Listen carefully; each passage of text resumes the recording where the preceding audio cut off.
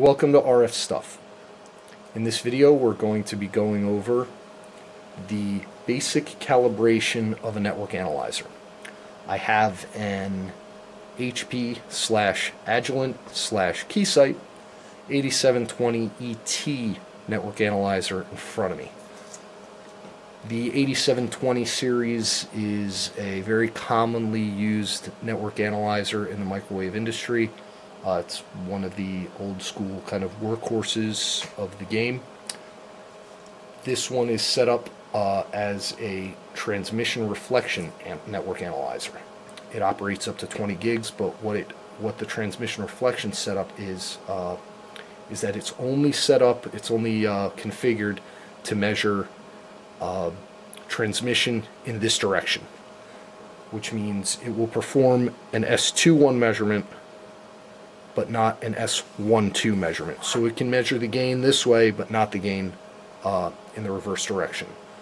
Other uh, different or differently configured network analyzers, uh, which we'll show in other videos, have the ability to measure uh, both S11, S22, uh, S12, and S21 uh, all in sequence, which is pretty neat, and we'll go over that in another video. The other equipment we're going to need to perform this calibration, which is called Open Short Load Through, or OSLT for short, is an open short load calibration kit. I have one right here and it consists of an RF open when screwed to the SMA male connector. This SMA female adapter simulates an open circuit on the RF. A short which when connected to the SMA male, the center conductor is grounded to the outer casing, so it simulates a short circuit. And a broadband RF load. This is a specially made load that will read a 50 ohm impedance across a broadband. Now, as I said before, this is a basic calibration. Um, probably going to be valid for frequencies below 5 gigahertz. Um, because for any very broadband, very high frequency measurements, you're going to need a, a, a, a, a very well calibrated kit. Uh, that we can uh, cover in another video. Um, right now, below 5 gigs, the measurement uh, certainty or uncertainty between this whole setup and the quality of this calibration kit I would just estimate to be probably around a couple tenths to a half dB. If you're seeking very, very accurate uh, on the nose measurements, especially at the higher frequencies, a uh, very different calibration procedure is needed, which we can go into in another video. Like I said, this is for basic uh, cal, where you're going to measure something simple like a lower frequency filter, amp below a couple gigahertz, or something of that nature. And the last two pieces of gear you'll need for this cal are SMA wrench and an SMA female to female through. So to initiate the cal, I've zoomed in on the screen a little bit so that we can see the commands that are going to be put into the network analyzer. Now, this calibration procedure, the open short load through, is common to more or less any vector network analyzer you're going to use. Uh, this is the manual calibration uh, you know, tutorial.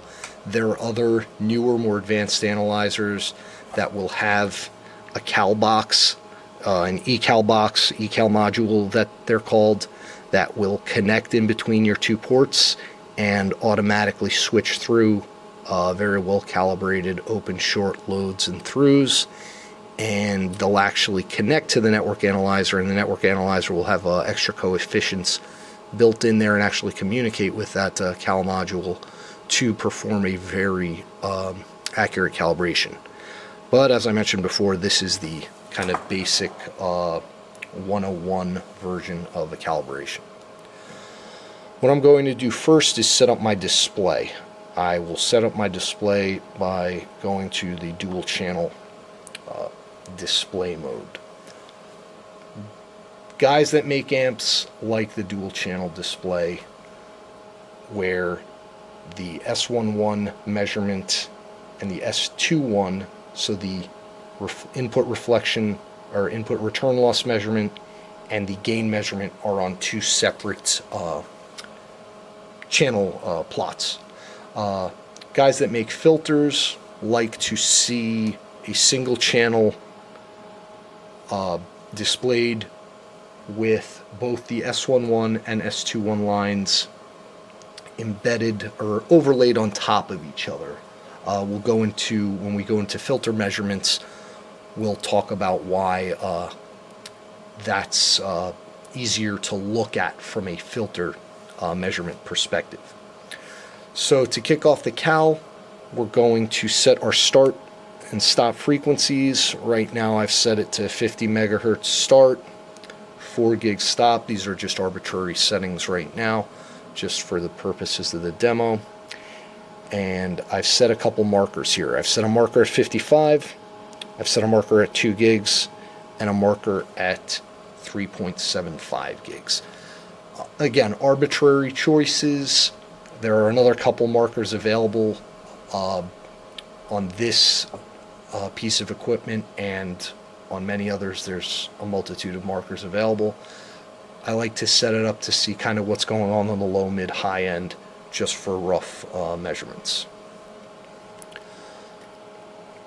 Most network analyzers have uh, an active channel button, which is right up here, which will allow you to pick the, uh, you know, whether you're manipulating channel 1, which is the S11 input return loss measurements, or the S21 gain measurements. Uh, so right now we're going to calibrate the uh, input return loss or the S11 measurement uh, of the network analyzer.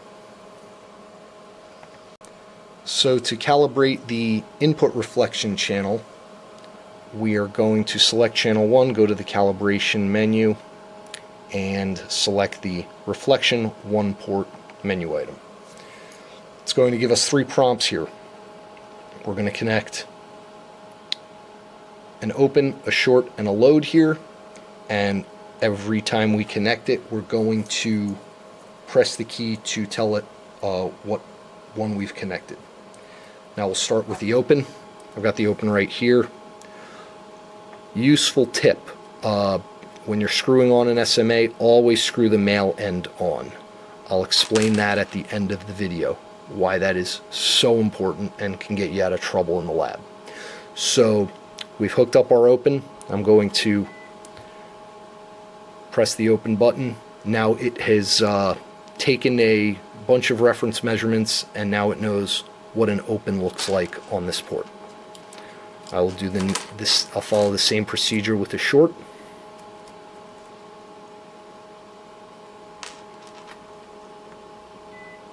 As you can see, the sweep is pretty quick. It makes these, uh, computes these coefficients rather quickly. And what it's doing, it is saving in its memory with respect to this cable, these connectors, up to this reference plane, what an open, short, and a 50 ohm load are supposed to look like from 50 megs to 4 gigs. Because we're telling it, we're giving it known uh, open shorts and loads. So now we're at the load stage and we have, uh, it asks us what kind of load we're using and right now we're using a broadband load.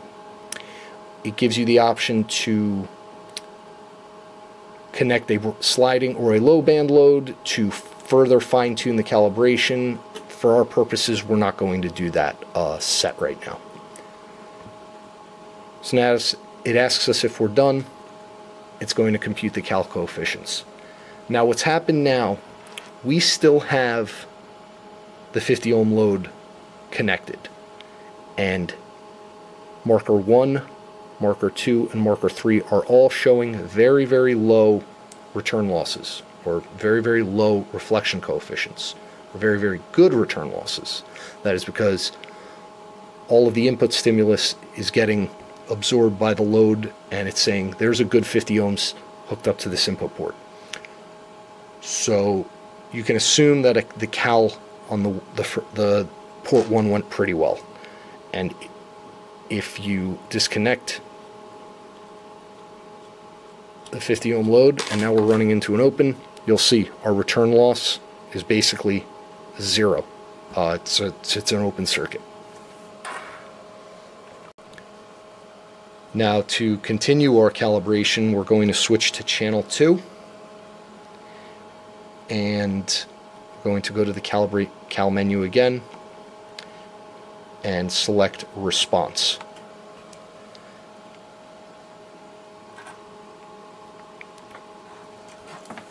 What we're going to calibrate now is we're going to connect the input and output ports with the through and it is going to send a stimulus from port 1 to port 2 and see what a measure what a through looks like with respect to this test setup.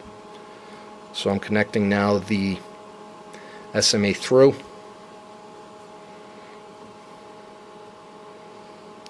And I will just hit the through button. Going to measure. And then it is showing us now our response line with this through connected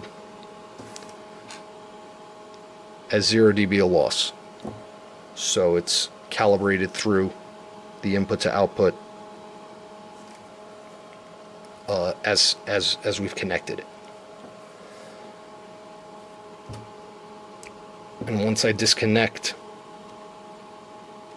port 1 from port 2 here, you can see that we're reading a very, very low, uh, very, very high level of loss from port 1 to point, port 2 because they're not connected. Negative 90, negative 80 dB. We're at, we're at the limits to where uh, this piece of equipment can uh, pick up RF signals. So that is a basic uh, calibration procedure for a network analyzer. Again, it's uh, more or less universal to most uh, makes and models. Uh, in the next video, we'll go over some more advanced techniques and some measurements.